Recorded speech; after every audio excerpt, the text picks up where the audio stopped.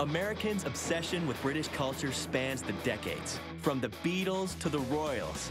And now, even a popular fast food chain is hopping across the pond to the delight of the American palate, called Pret a Manger. Pret a Manger originated in 1986 in the UK, and we moved to New York City in 2000, and um, Washington D.C. in 2009. In the next few years, they expect to have 80 locations across the U.S. Really healthy and fresh food, and it's reasonably priced. And what makes this British import such a phenom? Well, I think Pret is one of the most effective uh, sellers of fantastic natural food very, very quickly with a very friendly staff. Pret prides itself on making everything fresh in small batches all day long in on-site kitchens, like this one in Washington, D.C. From hot ham and cheese croissants to unique salads, sandwiches, and wraps. Like this combination of chicken, bacon, avocado with tomato and baby leaf mix.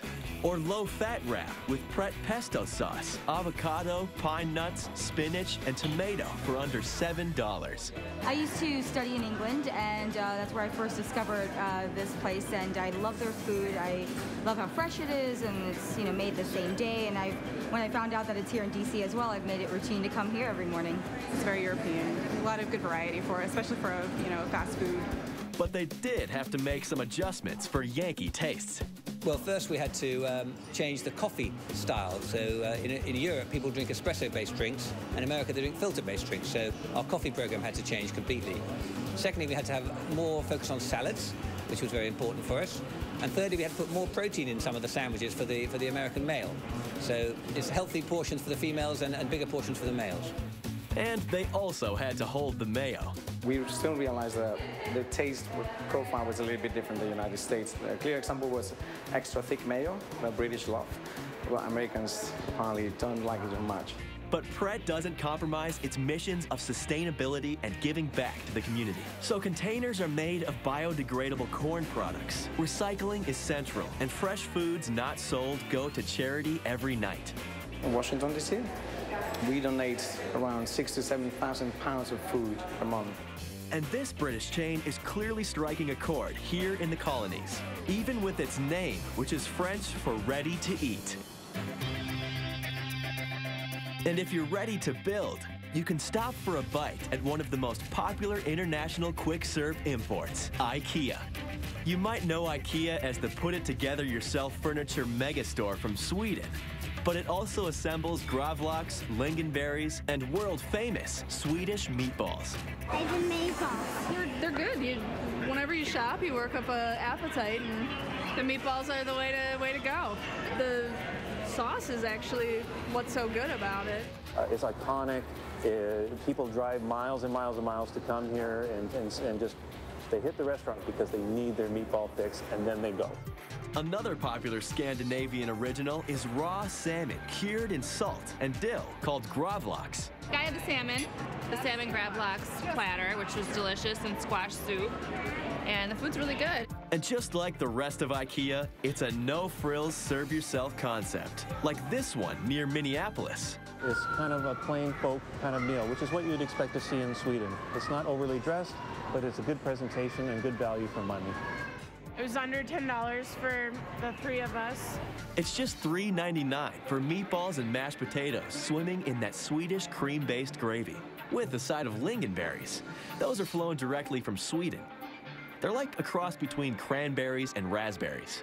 But not everything Swedish is a hit with the American audience. U.S. customers prefer less fish on the menu and hot mashed potatoes instead of the cold, sliced ones they serve in the motherland. IKEA has also added a number of classic American comfort foods. Uh, macaroni, and she ate all of her vegetables.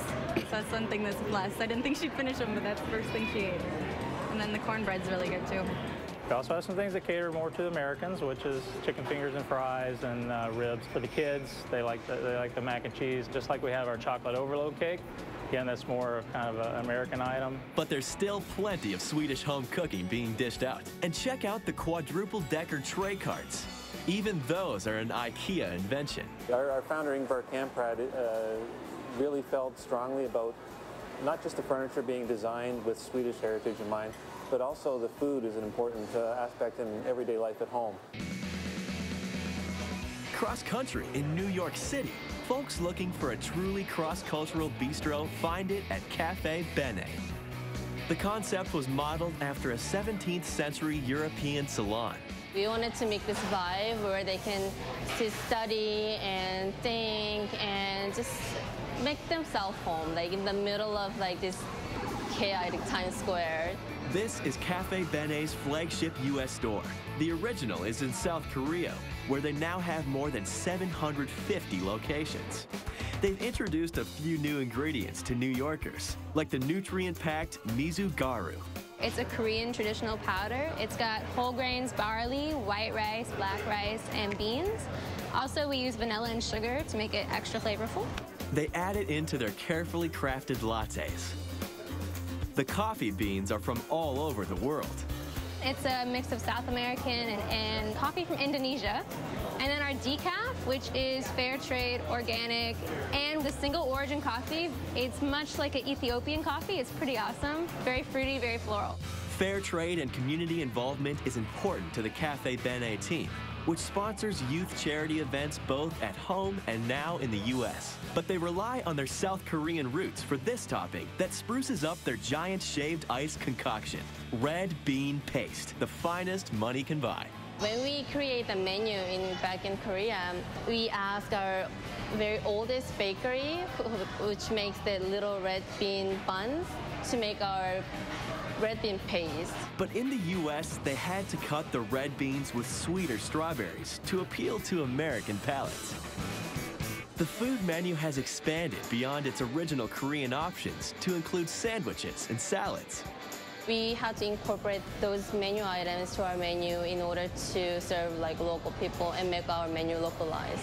But the all-time fan favorite both in the U.S. and South Korea is Caffe Bene's Belgium waffles. They have that nice sugary crust on the outside, um, so when you cut into them, it's a little bit crispy and it's sweet with the fruit and the whipped cream and the caramel and the chocolate sauce. It's delicious. I lived in Brussels for a summer, so I always want to find the kind of waffles that I had in Belgium. And this is the only place I've ever had that had the same kind of waffles. Compliments to the chefs just don't get any sweeter than that. In any country, things go better with Coke.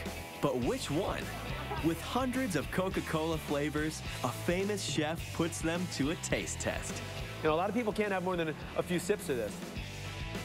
Plus, a sneak peek at McDonald's test kitchen and tasting lab.